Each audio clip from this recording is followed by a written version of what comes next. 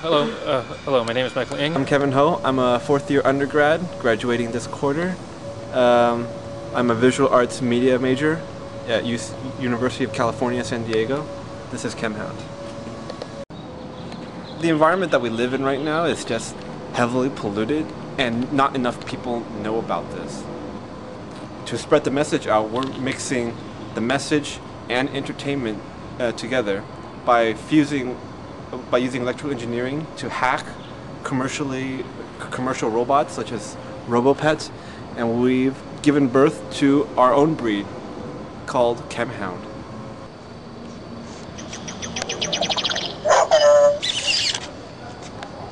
There are uh, several basic components. There is this, there is the sensor right here, which detects the VOCs. A power source that's located here, that powers the wiring board and the dog.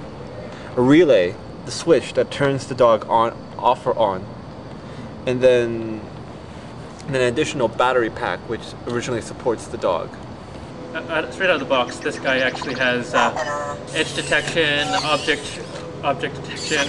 Unfortunately, sometimes it doesn't work quite as well as it could. Oh, it fell in the crack of. Yeah. Now, if he, if he sees an edge on the edge of the or sees edge, he'll try to avoid it, but it doesn't always work perfectly, as you can see. This is the reason why we actually wanted to go with the uh, the actual Matrax slash RC vehicle RC vehicle sort of chassis to move him around because you can't take him out of there. This is terrible. You can't really have this sort of thing happening all the time. I feel bad for this guy.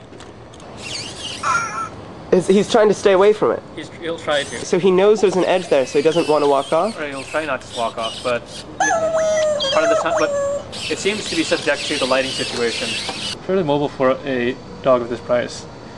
Uh, unfortunately, not necessarily mobile enough for the original, for the original design. The original design was actually to, up, to upgrade to upgrade him, say, to move about rougher terrain, say the terrain that's found around campus and whatnot. The entire area of UCSD used to be part of a of the uh, Miramar uh, military base. It was actually the riflery range slash artillery range, and a fair amount of VOCs are found in, say, gunpowder, such as compounds within toluene. And let's, let's see if we can actually get them to uh, react.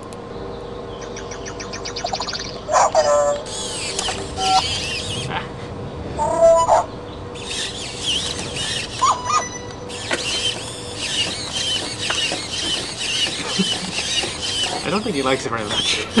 yeah. yeah. So with the advancement of new technologies such in plastics and metals, um, we're producing a lot of byproducts that are extremely harmful to the neural, re reproductive, digestive, respiratory systems. The pediatricians of pediatricians of today no longer um, are treating for for vi viruses and the common cold. We're working on um, asthma, autism, and other kinds of disease that we are pretty positive is being caused by the byproducts of modernization.